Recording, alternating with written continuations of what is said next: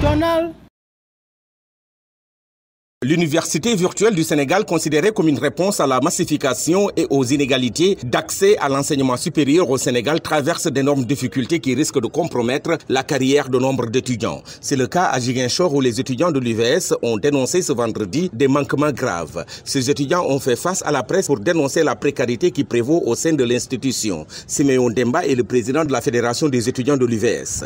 L'UVS a un petit budget par rapport aux autres universités, ce qui cause beaucoup de problème parce qu'on ne peut pas concevoir une université en termes d'effectifs et derrière l'ICAD. Aujourd'hui, nous comptons plus de 50 000 étudiants et qu'on a un budget qui est inférieur à 8 milliards. Donc aujourd'hui, nous demandons à ce que l'État augmente en tout cas notre budget. Donc à chaque fois, nous recevons des machines de, de mauvaise qualité et aussi en retard.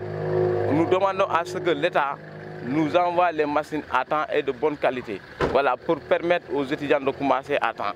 L'occasion a servi de tribune pour dénoncer une nouvelle fois les lenteurs dans la réalisation de l'ENO de Giguinchor. Pour eux, il s'agit ni plus ni moins d'une négligence de l'État qui risque d'impacter négativement sur leur avenir. L'administration nous demande de faire nos cours, c'est-à-dire les, les, les, nouveaux étudiants qui viennent d'arriver, de faire leurs cours avec leur, leur, leur, leur smartphone.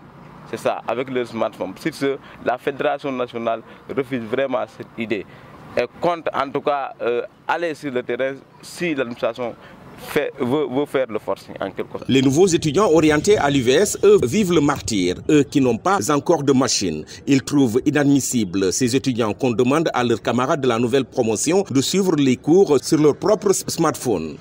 L'ENO, euh, jusqu'à présent, le ministre nous a promis que les ENO seront réceptionnés avant même, certaines ENO seront réceptionnées avant même l'arrivée des étudiants. Mais jusqu'à présent, on n'a pas, les travaux même ne sont pas, n'ont pas encore, encore commencé.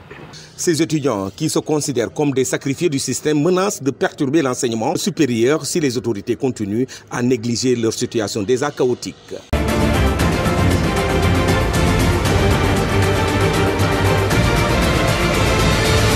Méridional.